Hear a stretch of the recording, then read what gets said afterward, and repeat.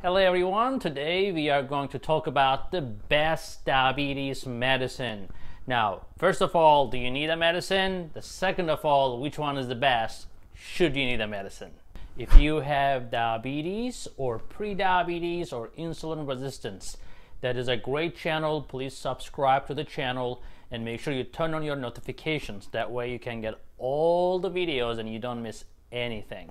Make sure you share on the social media so we can reach out to more people. And as an endocrinologist, my goal is to educate you guys.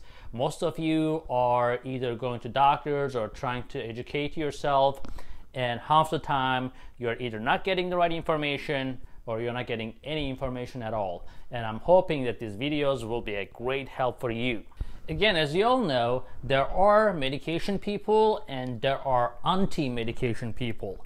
There are some people out there, they think that diabetes is only a sugar disease, so if you don't eat sugar, there will be no diabetes.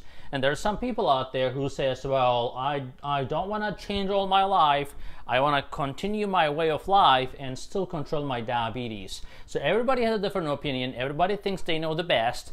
Uh, although I think it's a great idea to talk to an expert and listen to the videos, educational videos, but make sure you guys are hearing from the real experts. Now, let's get into what is the best diabetes medicine. Now, the best diabetes medicine, in my opinion, is no diabetes medicine, right? So, if you can achieve that with the weight loss goals, with our diet, with our exercise, now, this is for motivated individuals. Some people are very motivated. They get diagnosed. Their A1C is like 15% or something like that. And they're like, you know what? I'll do it myself. They go on a strict diet, they exercise, they change everything. Their A1C comes down to 5%. That's great. But it may not last too long. Sometimes people start getting lax. You know, life gets in the way. They start going back to their diet again, like the old diet and then eventually the, the blood sugar starts creeping up if they stop monitoring and blah blah so a lot of things can get complicated in the long term and not only that diabetes is a progressive disease if you just let it cook it's just going to get worse and worse so it's better to be aggressive in the beginning and if you guys are doing diet and exercise, you're really trying uh, to reduce your carbs, going on a keto diet. If you're a keto person, not my personally my favorite everybody's different. And maybe you have to make sure that you watch our keto video where we explain who should not be on keto diet. Because not everybody is a candidate for keto diet but regardless there are a lot of great diets mediterranean diet with low low low carbohydrate for example these are great diets that you, you that can control your diabetes with no medicine or very minimal medications now, what is important in diabetes care? So there's something called legacy effect. Legacy means that if you control your diabetes early on, the legacy of that early control will last with you towards the end of your life. But if you don't care about your diabetes for first 10 years, even if you decide to control with the best diet and exercise, you will still have problems and it's going to be very hard to control without a medicine. Now, in my practice, since I'm a specialist, people come to me as a referral from other doctors. And by the time they come to me, it's already like 10 to 15 years of diabetes. They have already been on multiple medications. They have been on multiple diets and they're tired of it. Nothing is working. They come and tell me, okay, doc, what can I do? What can you do for me? Now, I'm like, you know, we can do a lot of things for you. Now, what are you willing to do? Number one, it's the most important thing, right? So I can give you the best diabetes medicine, but if you're not taking that medicine, that's a problem. I can give you the best diabetes medicine, but if it is too expensive for you, you cannot really do much about it. You cannot if you cannot pay for it, right? But the thing is, over the years, I came up with a special formula, and that special formula depends on the person.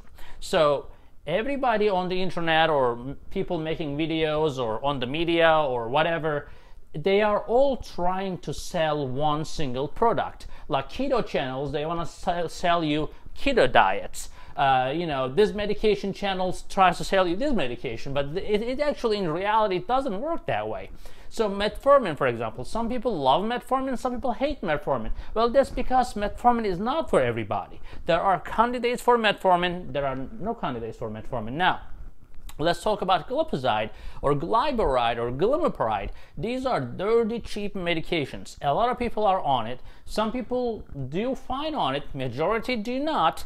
But I wouldn't trash those medications just because, you know, uh, I cannot just make a class action against the whole medication group and saying, oh no, because one of the patients had a side effect, so I'm not going to use the medication ever again. That's not true because there's a lot of people that still do great on medications that some other people don't do well. Now, my job as a doctor, again, we consider this more than a science. It's like an art. So what I do, I look at my patient. Okay, what is what is he or she has done? What's going on with her body or his body? What is uh, uh, what can really work based on their how long they had diabetes, if they have kidney disease, if they have liver disease, if they have other complications, the other medications they're on. There's so many factors, and also their lifestyle. What are they doing? Are they working in the field, sweating all day long? Are they on a desktop a job, on desk job? Are they, um, you know, in terms of psychologically, are they into taking pills or injections? Uh, or are they motivated for diet and exercise? All those things count before we make a decision. Now, when it comes to which medication is better overall, yes, there is actually probably uh, we can start uh, from a top ranking medication to the lowest ranking medication. If you try to give a score, uh, an overall score for every medication, I have my own best medication. Uh, again, that may not be the best for you, so don't write, start writing comments, oh, I have done horrible on this drug or whatever, uh, just because what happens to you doesn't apply to everybody, right? So uh, I, am just going to go by uh, the studies, but also my experience with my patients, right? So, in my opinion, the best diabetes medicine uh, for uh, overall in entire diabetes medication classes is the GLP-1 class. GLP-1 is a gastrointestinal hormone. Uh, and what happens is when you guys eat something, right, that creates insulin production. So how does that happen? You know, it doesn't happen miraculously. It happens because the gastrointestinal hormones kick in, and these hormones alert your pancreas to make insulin. Now, most people think that their body don't, doesn't make insulin, but that's not true. Their body can make insulin, it's just they do not have the necessary tool. It's like if your car is not starting, doesn't mean that your car is trash. Maybe, you know, there may be a minor problem. Maybe you have no gas, or maybe uh, ignition is not working. So, you know, you have to just find out. Once you fix that problem, suddenly your car starts working.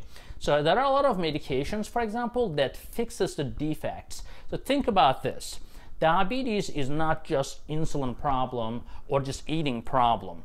So your body regulation is very complex. Contrary to the people who think that diabetes happens because you eat sugar, that is not true. Because for you to be able to make insulin, there are eight different factors that are involved. Your brain is involved, your gut, your intestinal system is involved, your liver is involved, your glucagon hormone is involved, um, your muscles, your fats are involved. So there's so many things that play a role in insulin resistance.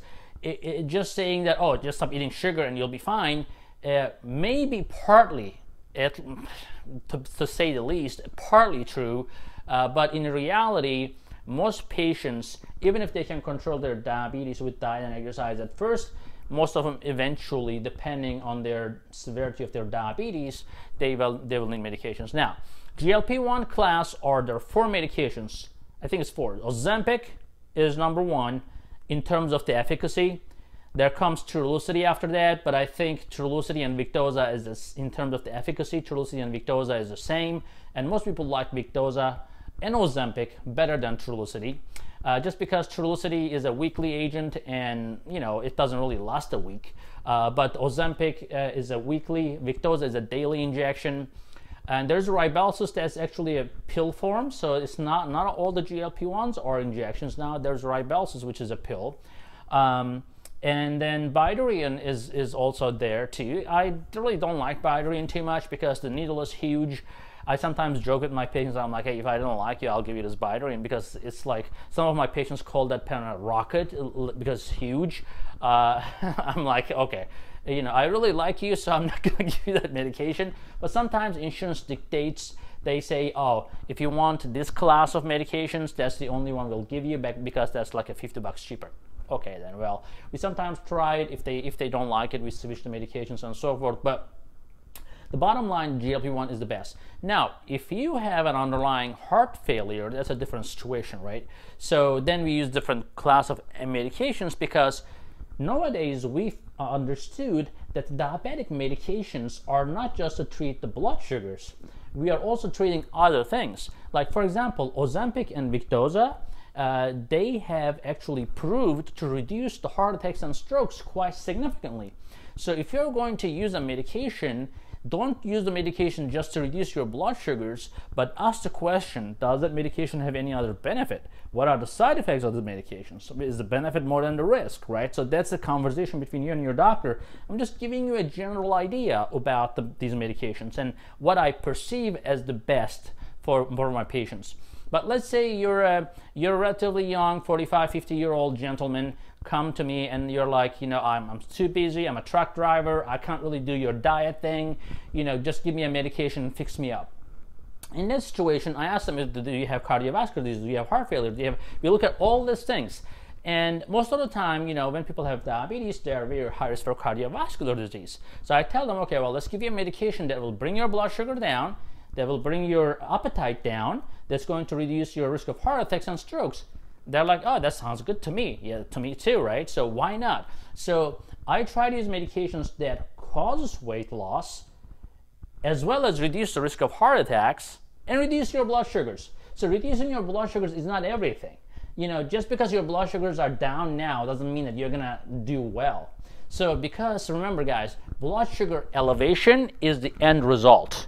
So by the time your blood sugar is high, you already have high risk factors for cardiovascular disease, your cholesterol is messed up, you may have a blood pressure, all those things. Yes, diet helps, but by the time you, you get there, you are still at high risk for cardiovascular disease and heart attack, so you still have to reduce that risk. Anyways, GLP-1 drugs are good at reducing the weight and they are good at reducing the heart attacks. Not all of them because, you know, they have done studies. Some of them were able to show it, some of them were not. Ozempic and Victoza did a great job. They showed significant reduction in death from heart attacks and so forth. Uh, so as a result, those are those have been my favorite drugs uh, because they cause a lot of weight loss. They cause a reduction in the heart attacks and strokes. Now, uh, when it comes to the next agent, the next best agent or agents in my mind is SGLT2 inhibitors. So what these drugs do, they basically make you urinate your blood sugars. Now these are Jardiance, Farxiga, uh, Invokana, and Steglatro. Now Jardiance also has cardiovascular benefit as well, and it is a pill. Uh, it also causes weight loss because you're basically urinating excessive blood sugars. Uh, so now you're gonna tell me that okay, well, doc, normally if my blood sugars are high, I'm peeing the blood sugar anyways, right? Well, that's correct, but you start actually urinating your blood sugars after your blood sugar hits 220 or more, typically. Uh, but when you go below 220, which is still high, at that point you still want to get rid of these blood sugars. Now, there's two ways of getting rid of blood sugars, right? You're eating, uh, you're either getting the glucose within the cells back into the body, and then if you don't spend that glucose with, with exercise, uh, then that's it's going to turn into fat, right? So that's why the old medications with diabetes they cause a lot of weight. Yes, they reduce your blood sugars, but then they cause weight. So that's why I don't like those, like glipizide and glimepiride and so forth. Now, not everybody gets that problem, but a lot of people do. So that's why they are my least favorite. But when it comes to these Jardiance, Farxiga, Invokana, etc., these drugs actually help with the weight loss. Now, also in the last few years, we discovered that these drugs, especially Jardiance and Invokana, along with Farxiga as well, they were able to show reduction in the heart failure. Now, heart failure is a very common in older diabetic patients. And that's also another reason for hospitalizations, another reason for death from diabetes before even you think about going blind or losing your leg, etc. So most of the time patients do not understand that and they get caught in the idea that oh okay i don't want to go to dialysis but good luck with that because but it's you know for you to go to dialysis you need to first stay stay alive. So you know that's why i always say okay if you have heart failure or cardiovascular disease i think using a medication like Jardiance or farxiga may be beneficial overall because they not only reduce your blood sugar but also reduce your uh, heart failure risk up to 50 60% and that is quite significant. If you have had relatives or yourself been in the hospital for heart failure believe me it's like not fun. It's like you feel like you're being drowned your lungs are full of water you can't breathe sometimes you go on a mechanical ventilation uh, it's it's a mess. So if we can avoid that uh, great. So again just diet and exercise sometimes does not do that. Uh, as a result, you know, medications are there for a reason. I'm not a pro medication doctor, but I use the medications on the right place, on the right patient. And of course, affordability is a big problem. So if your insurance doesn't cover, we generally fight with your insurance to get the medication. We convince them to get the medication. Uh, we prove them that you need the medication and so forth. And that takes a lot of time, but that's what we do. That's what we have to do for our patients. Um, uh, thank God we're not charging hourly like the lawyers do. God, then will be a, the, the patients will be in trouble. Uh, so we have a big heart. so, anyways, so uh, that is a second class that I really like. The third class, I would say my favorite in diabetes care would be metformin. Now, metformin is actually a fundamental medication it is uh, first line. The reason it's first line, not that it's better than um, the medications we talked about, just because it's very, very cheap. Um, now, recently there has been a metformin recall uh, for some companies because there's probably like 10 to 20 companies that make generic. Uh, they basically uh, are making generic metformin. Metformin is free at Publix. Like you know, no, they're not really making much of money, but they make it anyways. Um, so bottom line is some of these companies had some contamination and I'm glad FDA is on top of it. The, the recall was done for co some companies, but majority of the metformin users are safe. Uh, so uh, metformin also has been shown to reduce the heart attack risk a little bit. Uh, it can cause a little bit of a weight loss. Um, and it can cause a lot of gastrointestinal problems. So it can cause diarrhea, constipation, uh, not constipation, I'm sorry, diarrhea, nausea, um, bloating, and stuff like that can happen. Some people start tolerating metformin after a few weeks. Some people just cannot tolerate it at all. Um, but if they can tolerate it, it's so cheap that I think it's worth a try, especially if you do not have any complications, such as like severe kidney failure. Now, metformin again does not cause kidney failure. That's another like a big myth that people talk about all the time. Or metformin doesn't cause cancer, doesn't cause this, doesn't. So just be if, if it was, you know, believe me, like 80% of diabetics type 2 are on metformin. So it's not a medication that um, that we hate. We actually love metformin. The only problem with metformin, again, as I said, you have to be careful if you have a severe liver failure and or kidney failure.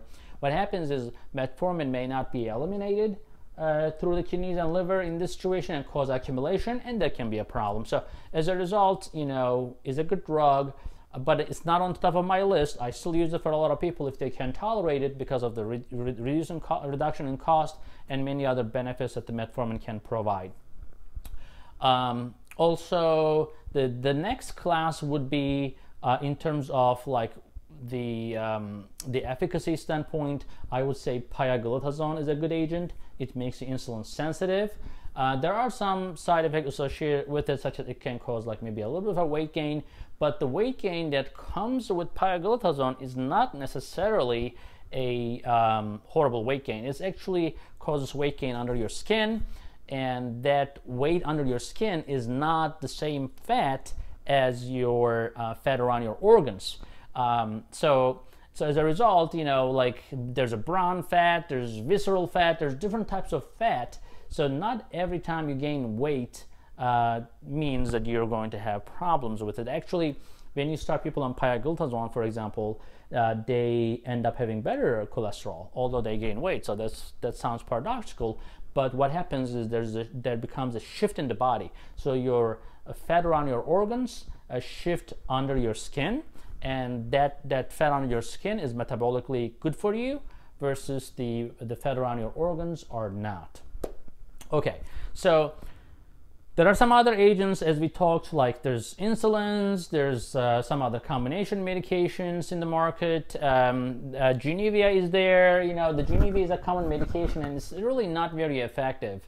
Uh, I use Januvia on some patients if I have to, you know, for older people who are possibly having dehydration problems from GLP-1 class or SGLT2, which is part of the problem.